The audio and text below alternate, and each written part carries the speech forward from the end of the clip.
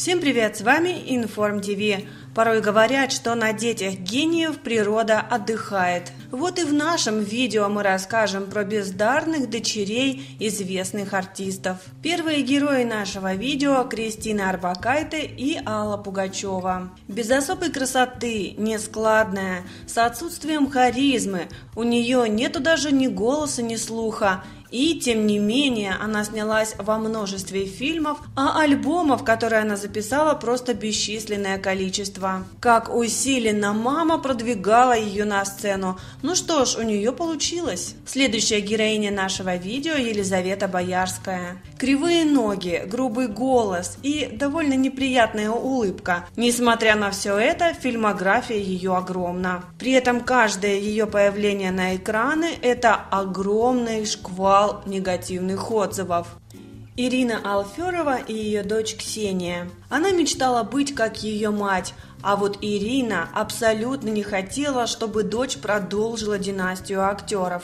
Когда девочка закончила школу, мама настояла, чтобы та пошла в юридический, но Ксения воспротивилась. После того, как получила диплом юриста, она все равно поступила в Амхат.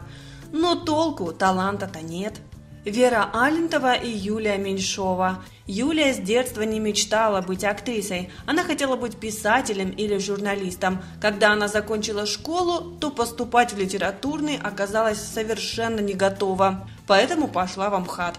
И вот спустя годы можно сказать, что девочка с детства видела свой талант и мечтала пойти по этой стезе. Непонятно, зачем она завернула на путь артистки. Журналист из нее намного лучше получился. Борис Гребенщиков и его дочь Алиса. Несмотря на то, что у девушки напрочь отсутствует артистический талант и у нее откровенно плохая внешность для кино, за эти годы она снялась в более чем 70 картинах. При этом роли в хороших фильмах ей не предлагают, она снимается в основном в сериалах. Сестры Михалковы. Семейство Михалковых всегда отличалось тем, что продвигало своих наследников. Несмотря на отсутствие таланта, обе дочери Никиты Михалкова с детства светились на экранах. Старшая Анна снялась в 70 фильмах, а младшая всего в 20. Чем они похожи? Отсутствием таланта, заурядной внешностью, а также отсутствием какой-либо внутренней искры, которая нужна любому актеру. Анна Самохина и ее дочь Александра – Девушка снялась в нескольких фильмах, и слава богу, что она в 2015 году решила оставить свою карьеру. Она открыла бизнес, и там довольно успешно. А вот бы и другие девушки, которые не унаследовали таланта родителей, последовали ее примеру.